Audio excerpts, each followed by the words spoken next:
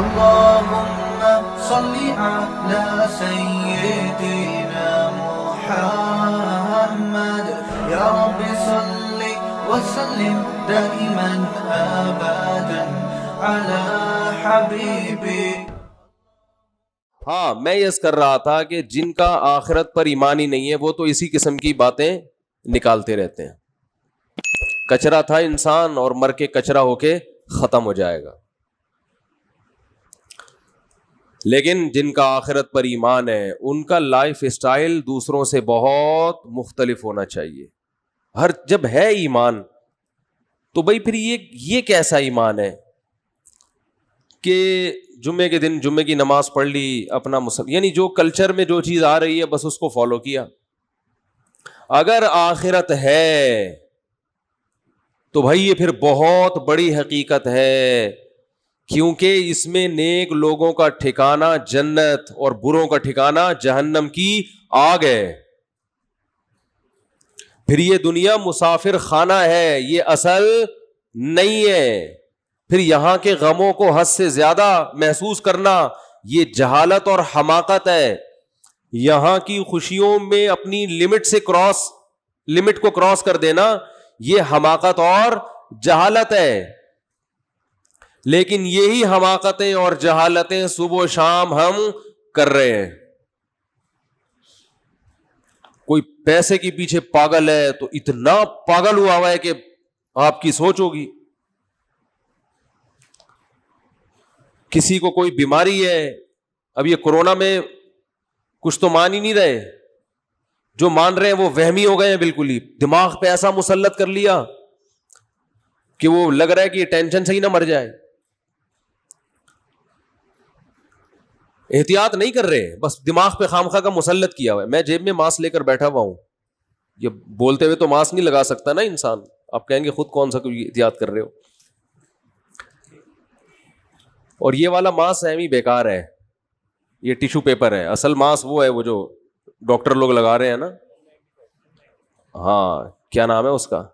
N ninety five तो लगा लिया करें मास्क को सवाब मिलेगा तो एहतियात पर अमल कर लें। मुसीबत यही है कि मैं टॉपिक छेड़ना नहीं चाहता। जिसको जब तक हो, होता नहीं है ना वो मानता नहीं है। और जिसको हुआ है उसकी चीखें निकली हैं। और अस्पतालों में रश अभी इतना बढ़ गया है। हमारे एक बड़े उस्ताज का भी एक मैसेज आया। उन्होंने कहा कि अस्पतालों में जो अच्छे डॉक्टर थे अच्छी नर्सें थी या तो बीमार हो गए हैं या मर गए हैं या भाग गए हैं। अब है वही जूनियर किस्म के लोग कुछ हैं जिनको वो बस चीखने चिल्लाने देते हैं मरीज़ को और वो खुद आते हुए भी डरते हैं पास। लेकिन जब तक हवा नहीं खा के आओगे, ये बातें समझ में नहीं आएँगी। फेंकते रहो बैठ के यूट्यूब पे फेसबुक पे, फेंकते रहो। और पाकिस्तान के इस वक्त जितने मशहूर ओलमा हैं, उनमें 99 परसेंट का इंतकाल कोरोना से हुआ है।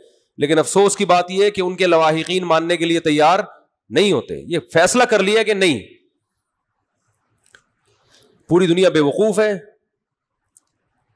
सारी दुनिया में फ्लाइट्स कैंसिल हो गई हैं, अब जहाज़ों की कंपनियों का बेड़ा गर्क हो गया है, लेकिन हम हैं बहुत बड़े, माशाल्लाह, फंटर हमारे पास रिसर्च होती है असल।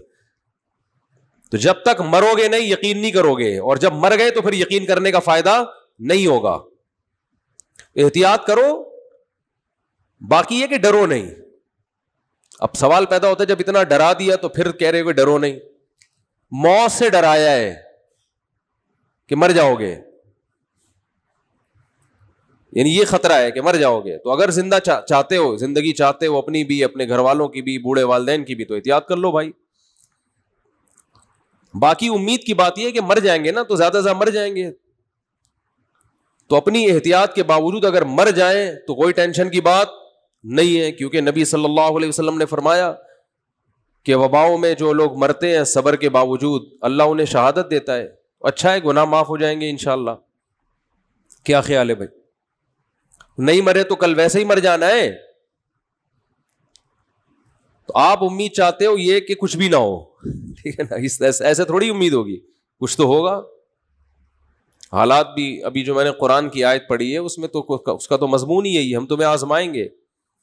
बिशई मिनल खौफ व नक्स मिनल अमवाल वल अनफुसी व समरात खौफ में मुबतला करेंगे तुम्हें, खौफ में। मालों का नुकसान भी होगा मुआशी। बड़े बड़े करोड़पति लोग रोड पे आ सकते हैं, पैसा डूब सकता है। दुनिया में अल्लाह ने हमें पेड़े खाने के लिए पैदा नहीं किया। बहुत से लोग बहुत दिनों से पेड़े खा रहे हैं। वो समझते हैं कि ये हम मौत तक पेड़े खाते रहे बहुत से मुल्कों ने पेड़े खाए हैं। इन कोरोना ने उनके मुँह से पेड़े छीन लिए। समझ रहे हो? बहुत सी कौमों ने, बहुत से मुल्कों ने, बहुत से अफराद ने पेड़े खाए हैं। बहुत से मुल्क बहुत तरक्की पर हैं और मुसलसल पेड़े खाए जा रहे हैं, खाए जा रहे हैं, खाए जा रहे हैं। तो इस कोरोना ने उनके मुँह से भी पेड़े बोलो भाई हिला दिया उनको। बहुत सी जहाजों की कंपनियों ने बहुत ज़्यादा पेड़े खाए हैं, उन कंपनियों का दिवालिया निकल गया। ये है, वलनबलुवन्नकुम। अल्लाह फरमाते हैं, हम तुम्हें आजमाएँगे इजतमाही सतह पे भी और इनफिरादी सतह पे भी। बिशई मिनल खौफ खौफ में मुबतला कर देंगे। हम करेंगे ये काम। ये नेचर नहीं करती कि खुद ब खुद हो रहा है। मुलहिद कहता है, बस ये नेचर का एक हिस्सा है, फितरत का हिस्सा है। फितरत बजाते खुद खुद कोई चीज़ नहीं है। इसको बनाने वाला अल्लाह है। बिशई मिनल खौफी वलजूई भूख भी मुसलत करेंगे। मुआशी नुकसान वलक्स मिनल अमवाल वल अनफुस। माल का नुकसान, जानों का नुकसान, इंसानी हलाकतें होंगी। वह समारात, पैदावार का भी नुकसान होगा। तो अल्लाह ने क्या फरमाया? इन हालात में वबशीर साबिरीन, सबर करने वालों को खुशखबरी सुना दे। जो गैर मुस्लिम है, वो सबर नहीं करेगा। देखो, गैर मुस्लिम का जो सबर है ना वो उनके जो मोटिवेशनल स्पीकर हैं, वो उनको समझाते हैं कि इस सबर करने से जब तुम टेंशन नहीं लोगे तो टेंशन ना लेने से बीमारी का खतरा कम हो जाएगा। इसलिए वो चेहरे के एक्सप्रेशन से जो उनमें पढ़े लिखे लोग हैं, चेहरे के तासुरात से और कोशिश करते हैं कि हम मीडिया के सामने जब आए और बात करें तो हम ये शो करें कि हमें कुछ भी नहीं है। अंदर अंदर से घुल रहे होते हैं वो। हमारे यहाँ दिल में गम ना भी हो तो चीख मुँह से ऐसे ज़ाहिर करेगा। क्योंकि ट्रेनिंग नहीं है ना, तरबियत नहीं है। कि जैसे सारा, सारी दुनिया का गम इसी को है। अमल से लग रहा होगा कि ये गमजदा नहीं है। लेकिन जो दिल की राहत है, दिल की खुशी है, वो अल्लाह सिर्फ़ अहले ईमान ही को देते हैं तकलीफों में। वो दिल की खुशी के लिए जो अल्लाह ने मोटिवेशन की है, वो वो जुमला गैर मुस्लिमों के पास नहीं है। फरमाया वबशीर साबिरीन, सबर करने वालों को खुशखबरी सुना दे, खुशखबरी जो इन गमों में सबर करेगा। ये सबर करने वाले कौन हैं? इदा असाबत हम मुसीबा, जब इन्हें कोई मुसीबत पहुँचती है। माली टेंशन आ गई, बेरोजगारी हो गई, जानी हलाकतें हो गई। कौलू तो ये जवाब में कहते हैं, इन्ना लिल्लाही, ये खुद से नहीं है, हम किसके गुलाम हैं? अल्लाह के। तो मालिक को इजाज़त है कि वो अपने गुलाम को आजमाइश में डाल सकता है। हम अल्लाह के गुलाम हैं भाई। ये अल्लाह के तसरुफात हैं। इत्तेफाकी हादसात पे इंसान टेंशन लेता है। जो पहले से प्लानिंग के तहत हो और उसकी प्लानिंग करने वाला हमारा रब हो और हमसे मोहब्बत करता हो, उसकी तरफ़ से परेशानी तो हमें बनाने के लिए, हमें बिगाड़ने के लिए और अजाब देने के लिए नहीं है। इन्ना लिल्लाही, हम अल्लाह के गुलाम हैं, व इन्ना इलैहि राजिऊन और उसी की तरफ़ हमने लौट कर जाना है। उसी की तरफ़ लौट कर जाना है।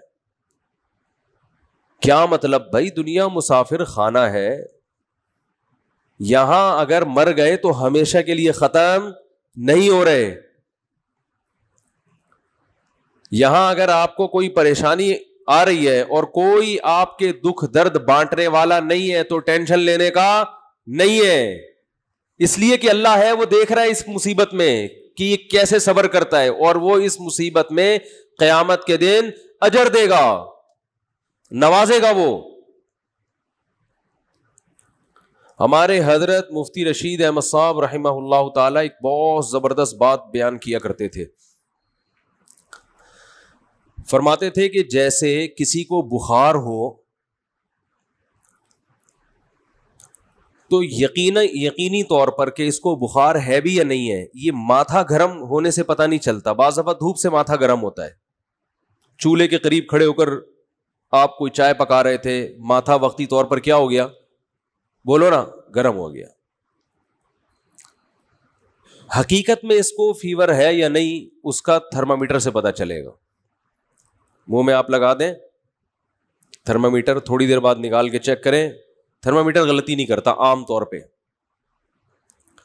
तो फरमाया कि किसी के ज़ाहिरी गेटअप को देखकर, उसकी तस्बीहात और नमाज़ को देखकर सौ फ़ीसद इसका अंदाज़ा नहीं होता कि ये दिल से दीनदार है या नहीं है। इसका आखिरत पर यकीन है भी कि नहीं है। आखिरत में यकीन इसका कितना है? इसका पता उस वक्त चलता है जब ये किसी परेशानी और गम में मुबतला होता है। उस वक्त इसका रिएक्शन क्या होता है? किस तरह से ये रिएक्ट करता है? इदा मस्साहुशर्रु जजुआ है कि शर पहुँचा तो एकदम चीखना, चिल्लाना शोर शराबा हाय, ये क्या हो गया, हाय, ये क्या हो गया, हुई, ऐसे चीख रहे पागल हो रहे हैं। मैं खुदकुशी कर लूँगा, मैं ये कर लूँगा, मेरे से नहीं बर्दाश्त हो रहा, ये इसका मतलब ये सिर्फ़ गेटअप है। समझ में आ रही है बात? ये सिर्फ़ वजीफों वाले हैं। और अगर गम में और टेंशन में इंसान की जबान से अच्छी बात निकलती है गमों में और मैंने बताया था ना, अफ़गानिस्तान में जो अमेरिकन आर्मी आई हुई है ना, वहाँ से जो अफगानी आते हैं, बताते हैं कि जब इनमें कोई जख्मी होता है तो बहुत चीखते हैं ये। बहुत चीखते हैं, जैसे पता नहीं क्या हो गया। फौजी रो भी रहे होते हैं। रिपोर्ट है ये। किसी फौजी का रोना कितना बुरा बुरा अमल है। है कि नहीं है? मैदान जंग में फौजी रो रहा हो।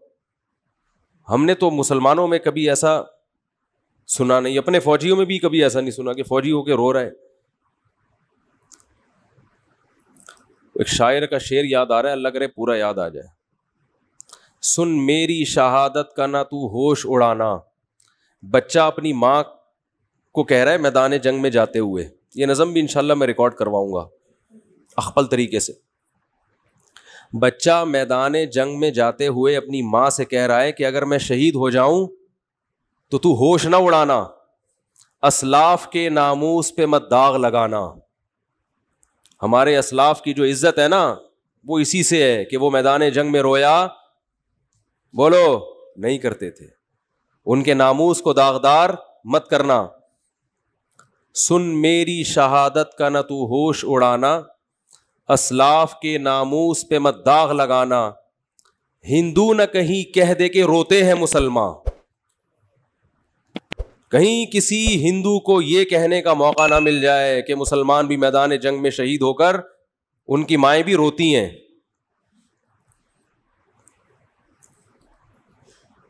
फिर कहता है, कट जाऊँ मख्तल में तो उफ तक नहीं कहना। तो माँ का अपने बेटे की शहादत पे रोना ये बुरा नहीं है तो मोहब्बत की अलामत है। रोना तो सुन्नत है, वावेला करना, चीखना, चिल्लाना और वो तो माँ है ना, चलो वो तो रोए। चीखे चिल्लाए नहीं। अपनी नवासी की मौत पर हमारे नबी सल्लल्लाहु अलैहि वसल्लम की भी आँखों से आँसू जारी हुए आपने फरमाया कि दिल गमजदा है, आँखें बह रही हैं, जबान वही कहेगी जिस पे हमारा रब राज़ी होगा। जबान से वही कहेंगे जिस पे अल्लाह क्या होगा? राज़ी। आँखों पे कंट्रोल नहीं है। तो रोने पर पाबंदी नहीं है। मैदान जंग में तो रोना बुरी बात है। तो अमरीकियों से गुजारिश है कि हमारे यहाँ ट्रकों के पीछे लिखा हुआ होता है, तप्पड़ है तो पास कर, वरना बर्दाश्त कर। इसका इंग्लिश में तर्जमा करवा के अपनी पैंटों के पीछे लिखवा लेंगे कि भाई जब अफ़गानिस्तान में आने का तप्पड़ था तो आना चाहिए था, फिर रोने की बात क्या है। फिर रोने की बात क्या है। और अगर आके रोना ही था तो फिर आने की चंदा ज़रूरत नहीं थी। आप सुपर पावर हो, आपने दुनिया में बेइज्जती करवा दी। आप, आपने नहीं, यानी आपके फौजियों ने।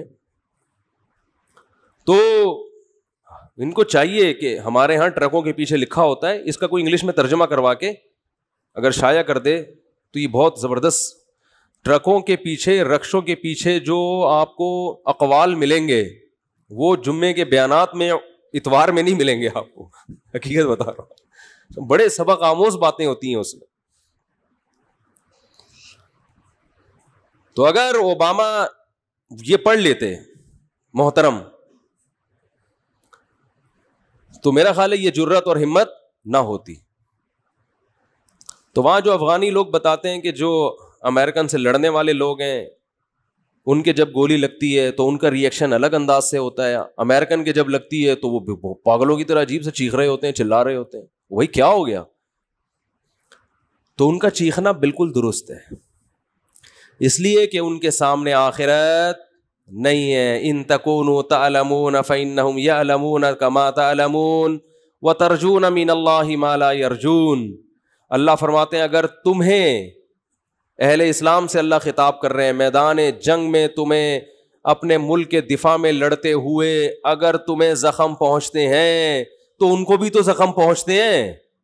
उसको ज़ख़म पहुँच रहे हैं, फिर भी लड़ रहा है, और तुम मैदान में पीछे हट जाओ। व तरजून अमीन माला अर्जुन जबकि तुम इस जख्म पे अल्लाह से वो उम्मीदें लगा के बैठे हुए हो, जो तुम्हारा मुखालिफ उम्मीदें लगा के नहीं बैठा। तुम्हारा मुखालिफ सिर्फ़ गवर्नमेंट से मुख्तलिफ़ किस्म की अलाउंस लेने की उम्मीदें है उसको। कि मैं जख्मी हो जाऊँगा इतने पैसे मिलेंगे। मेरी टांग टूट जाएगी लकड़ी की जर्मनी से टांग ला के लगवा दी जाएगी। बस। उनको अपने हुक्मरानों से उम्मीदें हैं और मरने के बाद तो वो भी नहीं है। मैदान जंग में मर गए तो अब क्या क्या कि, किस तोपों की सलामी खबर पे दी जाए या पच्चीस तोपों की उससे मुर्दे को क्या फ़ायदा है? वो कहेगा मुझे तो मार दिया ना। कहते हैं उसके लवाहिकीन को नवाज़ देंगे। तो लवाहिकीन को नवाज़ के ये भी तो अपने लवाहिकीन में सबसे पहले तो ये था। लवाहिकीन के लिए अपने आप को ही मरवा दिया। कहेगा, यार, इतना प्रोटोकॉल तो मैं ज़िंदगी में लवाहिकीन को नहीं देता था। तो ये मजेदारी नहीं है। मजेदारी है, इन तकून तलमून फ़ैन यालमून कमा तलमून व तरजून मिन माला अर्जुन खुदा की कसम, कुरान की इस एक आयत ने ऐसा मुसलमानों को मोटिवेट किया है, अपने अपने कौम के लिए, अपने मुल्क के लिए, अपने मज़हब के लिए लड़ने का ऐसी आग भरी है। अल्लाह फरमाते हैं, अगर तुम जख्मी होते हो तो उन्हें भी तो जख्म पहुँचते हैं। वो थोड़ी जैसे आते हैं, वैसे के वैसे कुछ तो तुमने उनको भी मारा होता है। इसके बावजूद वो मैदान में उतर रहे हैं। हालाँकि, तरजून अमीन अल्लाह माला अर्जुन तुम्हें अल्लाह से वो उम्मीदें हैं जो उनको नहीं है। और तुम्हें अल्लाह से क्या उम्मीदें हैं? आप सल्लल्लाहु अलैहि वसल्लम ने फरमाया, जिसके मैदान जिहाद में जख्म लगा, कयामत के दिन वो जख्म बहता हुआ होगा और उसके खून की रंगत खून जैसी और उसकी खुशबू मुश्क जैसी होगी। इसी तरह आएगा क्यामत के दिन। शहीद के खून का कतरा ज़मीन पे गिरने से पहले अल्लाह उसके गुनाहों को माफ़ कर देते हैं। हमने तो शहदा के खून की खुशबू अपनी नाक से सूँगी अल्लाह ने तो हमें ये आयतें और ये हदीसें ये दुनिया में नज़ारा करा दिया। हमें कैसे कोई लिबरल और मुलहद ये कह सकता है कि ये हदीसें माजल्ला गलत हैं? हमने तो वही अपनी नाक से सूँगी है। इब्राहिम सलाम ने अल्लाह से पूछा कि, ए अल्लाह, तू मुर्दों को ज़िंदा कैसे करेगा क़यामत के दिन? ये तो बोसीदा हड्डियाँ होके मर के ख़त्म। तो अल्लाह ने फरमाया, अवलम तो अमीन क्या मेरी बातों पे यकीन नहीं है? काला, बला, अल्लाह क्यों नहीं है? तूने कह दिया बस यकीन है। लेकिन ज़रा दिखा दे तो और इतमान हो जाएगा। अल्लाह ने फरमाया, खुद अरबातम मिन तैर चार परिंदे लो। फसुरहन इलैक, उनको आवाज़ों से मानूस करें। किसी आवाज़ से मानूस कर दिया जाता है, दौड़ता हुआ आता है। थुम जल अला मिन हन्ना जुज आ इनको ज़बा करके, कीमा बना के टुकड़े बर करके, मिक्स करके, चारों तरफ़ जो पहाड़ है ना, उनकी पहाड़ियों के कोनों पे रख, चोटियों पे रख दें। सुमदुन्ना फिर जिस परिंदे को जिस आवाज़ से मानूस किया है, वो आवाज़ निकालें यातीना का साया। वो परिंदे दौड़ते हुए इब्राहिम सलाम की तरफ़ आए। दौड़ते हुए, सारे बोटियाँ उड़ उड़ के ज़िंदा हुए, पूरे पर और पूरा परिंदा बना और इब्राहिम सलाम की तरफ़ दौड़ रहा है। तो जिस पैगंबर ने ये मंजर अपनी आँखों से देखा हो, उन्हें कभी कोई वसवसा होगा? अल्लाह की बातों में कि मैं क्यामत के दिन मुर्दों को ज़िंदा करूँगा। तो भाई, हमने तो शोहदा के खून की खुशबू अपनी नाक से सूंघी है, और मैंने नहीं, बहुतों ने सूंघी है। बहुत सौ से आप तस्दीक करवा सकते हैं। इसमें ड्रामे भी होते हैं, मैं मानता हूँ। आजकल तो जो मर रहा है, खुशबू आ रही है।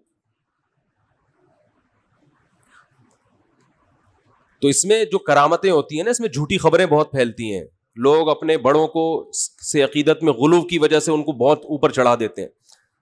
लेकिन जो मुशाहिदा है, उसका तो इनकार नहीं हो सकता। हमने तो खुद मुशाहिदा किया, और एक का नहीं किया है बहुत सौ का किया है।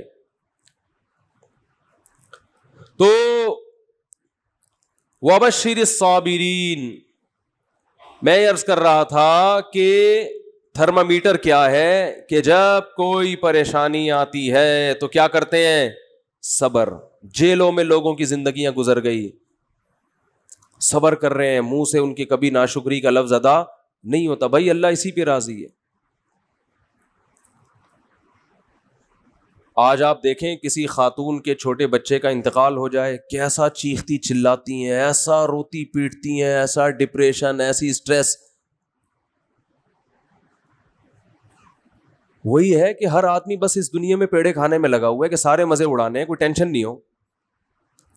मेरी दादी की अल्लाह मफरत फरमाए, उन्होंने मुझे बताया कि उनके आठ या नौ बच्चे सात सात और आठ आठ साल की उम्र को पहुँच के मरे हैं।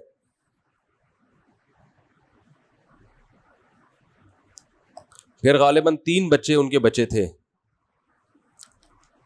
जिनमें एक मेरे वाले साहब, ताया और हमारी फूफी थी, अल्लाह ताला मफरत फरमाए, इन तीनों का इंतकाल हो गया।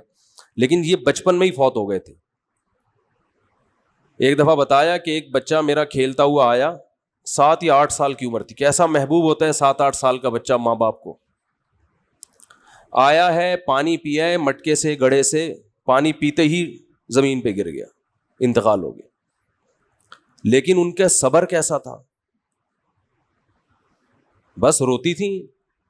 मा अल्लाह, जो अल्लाह की तरफ़ से मुकद्दर है। आज ऐसे पागल हो जाते हैं, ऐसे बौखला जाते हैं। तलाकों का रेशो भी इसीलिए कि एक दूसरे को बर्दाश्त कर ही नहीं रहे हैं। पहले रिश्ते वजूद में आते थे, मियाँ में ख़राबी है, औरत बर्दाश्त करती थी, चलो भाई, चलाओ, गुजारा चलाओ। औरत में ख़राबी है, मियाँ बर्दाश्त करता था, यार, गुजारा है, सारे मज़े दुनिया में थोड़ी होंगे। अब नहीं भाई औरत को मियाँ पूरा एक्यूरेट चाहिए, बिल्कुल सर के बाल से लेके पाँव के नाखून तक रिमोट कंट्रोल की तरह वो इसके इशारों पे चलता हो। और मर्द को भी ऐसा ही है कि बीवी ऐसी चाहिए जिसमें किसी किस्म का कोई फॉल्ट हो ही नहीं। इस्तारों में भी पॉजिटिव आए। और हुसन जमाल, बेमिसाल और जनाब अखलाक भी और हर हर मामले में उसका मैार ऐसा है कि उसको दुनिया में बस सारे मज़े उसने दुनिया में चाहिए। ये हर आदमी का हो चुका है माम ओ भाई, थोड़ा सा दुनिया को आड़ा तिरछा करके चलाओ। कंडक्टर से इबरत हासिल करो ना बार बार कहता हूँ। बस जितनी भी भरी हुई हो, कंडक्टर बस को छोड़ के भागता नहीं है कि यार सीट नहीं मिल रही तो मैं कहाँ बैठूं? सारे तो पैसेंजर चढ़ गए। सुबह से शाम लटक लटक के नाजाबाद से लांडी लांडी से नाजाबाद। होता है कि नहीं होता? लटक लटक के जाएगा। क्या अगर रात को सोएँगे आराम से, कोई मसला नहीं है। पाँव रखने की, अंगूठा रखने की जगह नहीं है, मगर एक दरवाजे से चढ़ेगा, सबसे किराया लेके दूसरे से उतर जाएगा। उसे कभी टेंशन हुई, यार, ये क्या मसला है यार? जगह ही नहीं है। सब लोग इज़्ज़त के साथ सफ़र कर रहे हैं। और वो बॉस जो है, वो तो ड्राइविंग की सीट पे बैठा हुआ है मज़े से। और मेरी हालत देखो यार, मुझे तो जगह ही नहीं मिल रही, जाओ, मैं नहीं जा रहा। वो कहते, कोई बात नहीं यार पैसे जब आएँगे ना जेब में इतने सारे तो अड्डे पे रात को सोएँगे आराम से। फिर इनको नींद भी टाइट आती है, इनको जगह ना भी मिले, बस की छत पे सो जाते हैं ये। रेडियो पे सो जाते हैं, मैंने देखे हैं। जगह नहीं मिली, रेडी लगी हुई है कोई फल वाला अपनी रेडी छोड़कर चला गया, सुबह दोबारा से फल डालूँगा। दो चार गले सड़े सेब रह गए थे, साइड पे लगाया, सो गए तो सोते हैं मज़े से। वो टेंशन बर्दाश्त कर रहा है कि भाई पैसा आ रहा है। तो भाई हम और आप भी बर्दाश्त कर लें कि अजर आ रहा है अल्लाह की तरफ़ से। सवाब मिल रहा है, आखिरत में ज़ख़ीरा हो रहा है। रसूलुल्लाह सल्लल्लाहु ने इरशाद फरमाया अल्लाह ताला जब किसी से मोहब्बत करते हैं, उसे आजमाइश में डाल देते हैं। ऐसा भी होता है। फमन सबरा फलाहुर रिजा। फिर उन आजमाइशों में जो सबर करता है अल्लाह उससे राज़ी हो जाता है। आजमा लिया। पैगंबरों को जो अल्लाह ने आजमाया तो कैसे खिताबात दिए? नम अयूब सलाम के बारे में फरमाया, क्या खूब बंदा। सारी ज़िंदगी बीमारियों में गुजर गई, एक लफ्ज जबान से नाशुक्री का नहीं निकला। नम ये अल्लाह की तरफ़ से अलकाबात मिलते हैं। जैसे हम लोग खिताब देते हैं ना, किसी को बहादुरी का खिताब दे दिया, बहादुर खान नाम रख दिया किसी को हकीम उलम्मा का नाम हमने दिया, किसी को कायद आज़म का नाम दिया, किसी को मादर मिल्लत का नाम दिया, मुख्तलिफ़ किस्म के लकब हम देते हैं, उनकी कारकर्दगी से मुतासर होकर। अल्लाह भी देता है लकब। नैम क्या खूब बंदा। सही है ना? क्या खूब बंदा था मेरा। सबर की वजह से। वही बतला इब्राहिम रबू बिकलिमातिन। सूर बकरा, फरमाया, उस वक्त को याद करो जब इब्राहिम को उसके रब ने चंद चीज़ों में आजमाया, वो भी आजमाइशें आई उनके ऊपर।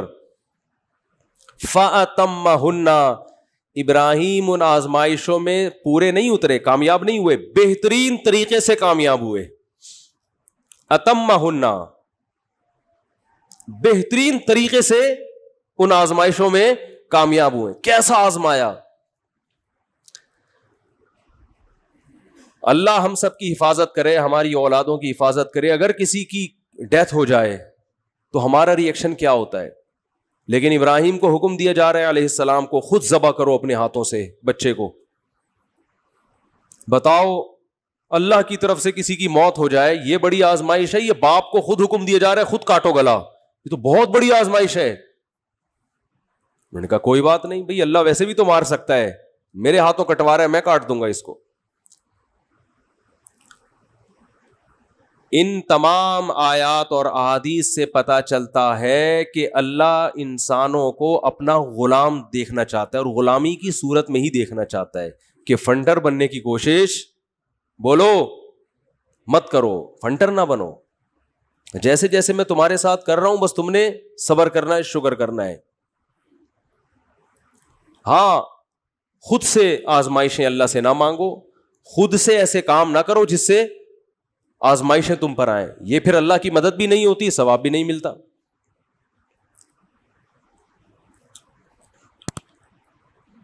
वलन कौम फरमाया, आजमाते रहेंगे।